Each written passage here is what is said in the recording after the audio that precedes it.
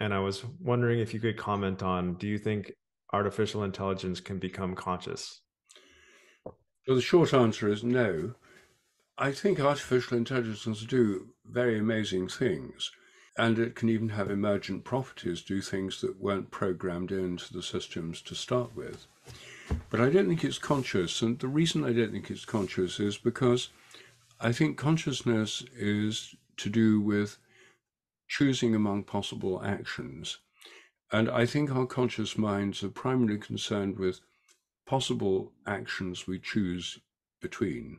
So consciousness is a realm of possibility. Um, artificial intelligence also has many possibilities. So you could say, well, it's got that. But and you could say it chooses among them because it does make choices.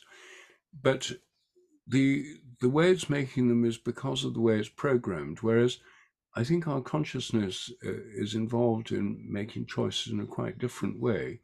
I think that morphic fields in general and minds in particular work on the physical systems. I think the way our mind and brain interact is through the patterning of otherwise indeterminate events by the mind or the fields of the mind, morphic fields, come back to our original discussion about morphic fields at the beginning of our conversation. How they work is by imposing patterns on otherwise random or indeterminate events. And you know, in your brain, there's hundreds of random events going on all the time, and there are certain patterns. There are brain waves sweeping over the brain, and there is activities happening in the brain that could go one way or another. And um, whether they go that way or that way, I think depends on the morphic fields that are operating on, on the brain.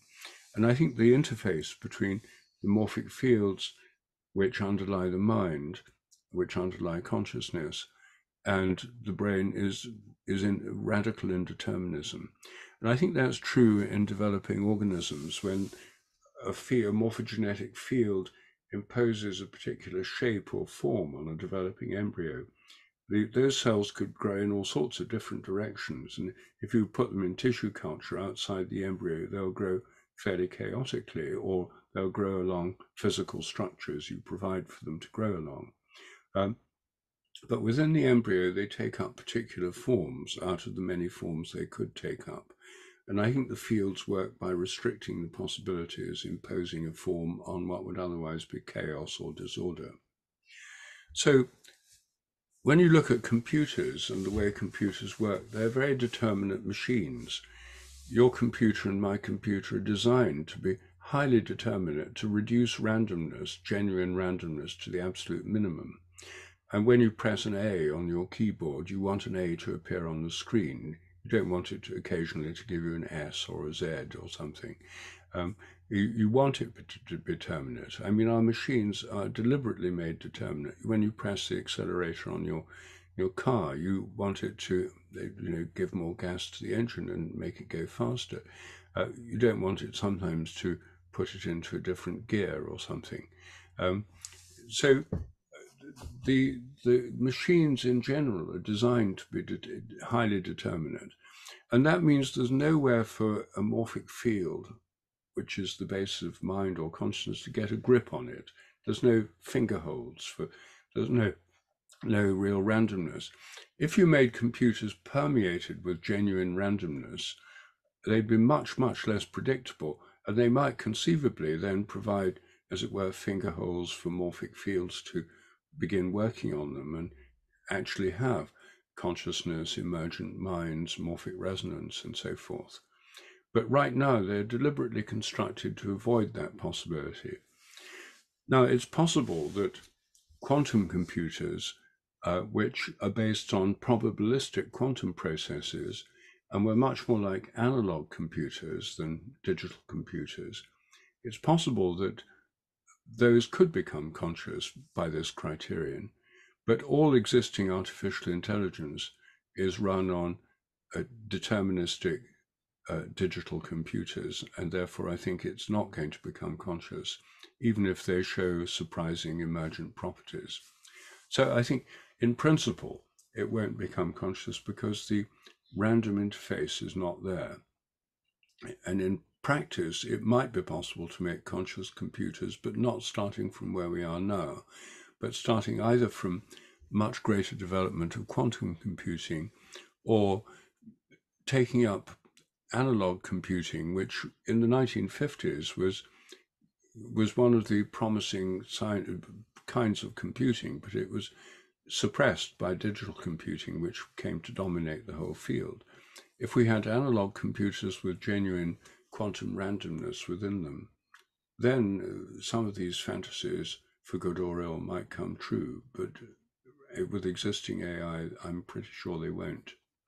I guess that kind of calms me down a little bit because I, I'm, I'm thinking that it will become conscious. Things are moving really fast. I, I haven't even played with this Chat GPT thing. Have you tried it out yet? No, but various friends of mine have, and they've sent me the results, and it's quite impressive. But I'm pretty sure it won't be. You see, the point is the, the existing mechanistic theory of consciousness, as we were discussing earlier, is that consciousness emerges from mechanical processes in brains. So if you start from that point of view, um, then there's no reason it shouldn't emerge from computers. Um, but I think that they're starting from a completely unrealistic view of consciousness. They're starting from a materialist philosophy, which in itself can't really explain consciousness um, and has no place for it. And so I, I, I think that it's just not going to happen. The, the, this, um, you know, materialist artificial intelligence. Anyway, you know, it's the kind of thing one could have a bet on, but I'm not sure whether or not it would be very easy to distinguish. You know, the old Turing test for computers was ones that could carry on realistic conversations with people. Well, AI can do that now, and it doesn't prove that the machines are conscious. So it might be hard to prove whether they were conscious or not if we had advanced AI.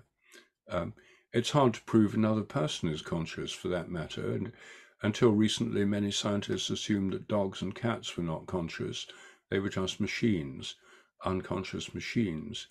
Um, some still assume that.